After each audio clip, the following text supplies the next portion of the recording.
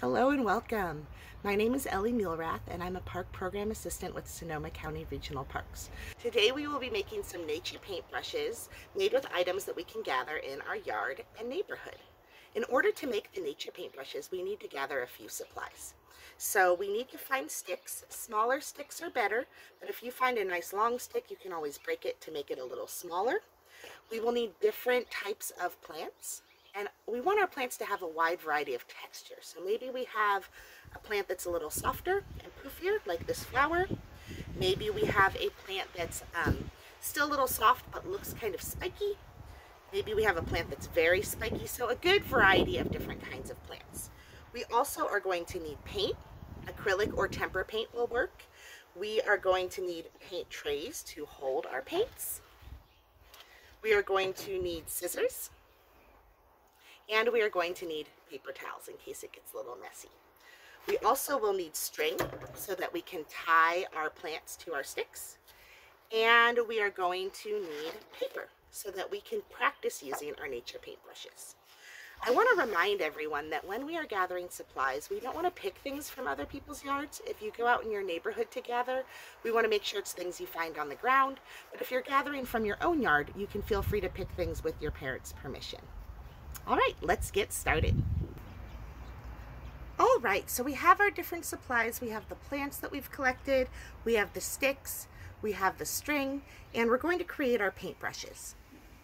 Something that I've found is really important is that when we tie our plant material onto our sticks, we want to make sure that the plant material is tied kind of lower on the stick so that the, the brush material stays kind of stable. If we tie it like this towards the end, it's going to flop around like crazy when we try to paint. So we don't want that to happen. So we'll make sure a good part of the stem here of our plant is resting on our stick and we wrap the string around. After we wrap it around enough times, we are going to tie our string in just a couple of little knots and then we have a paintbrush. Let's make a few more. So I have another stick here that's a little too long. I'm just going to break it in half to make two shorter sticks. And let's try this beautiful flower. So we line up the stem and the stick so that a lot of the stem is next to the stick here.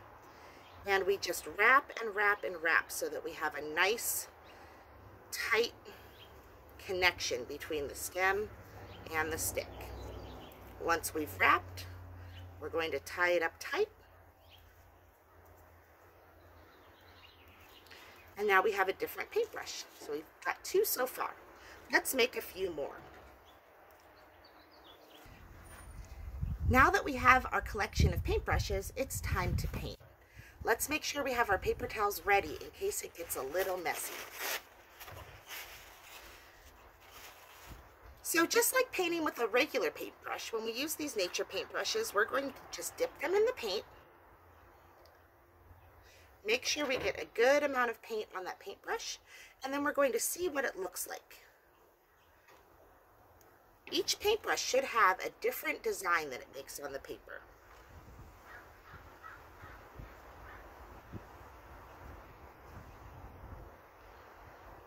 Remember, because these paintbrushes are made out of plants, we are going to be making a picture that's a little more abstract.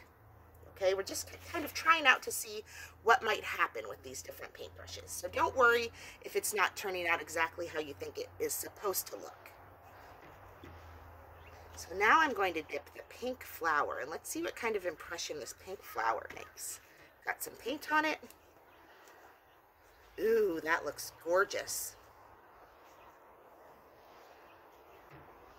And then we could sweep it across too if we want to. All right. Now let's try this spiky plant, this rosemary. And I think I'll use a little green for this one.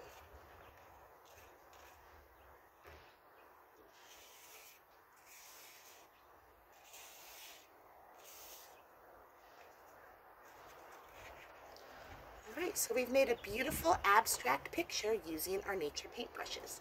Let's try one more so we can test out the other paintbrushes.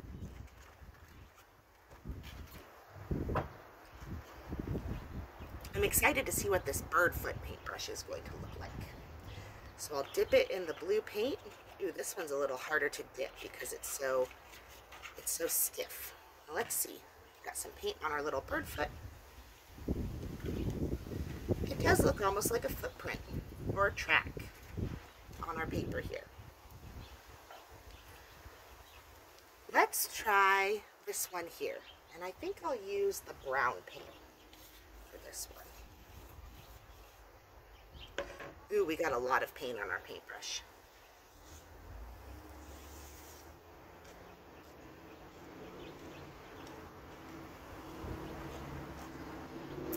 Right, two more to go. This one's also a little spiky. I wonder how that will turn out on our paper.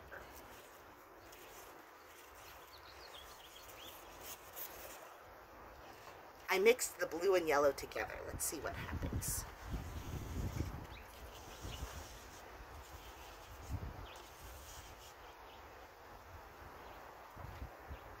And last but not least, let's use our big poofy spiky plant.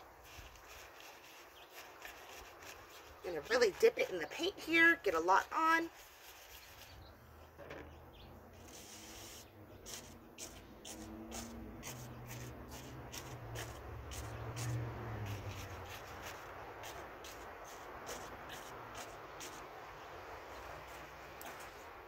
And we have another abstract picture using nature paintbrushes.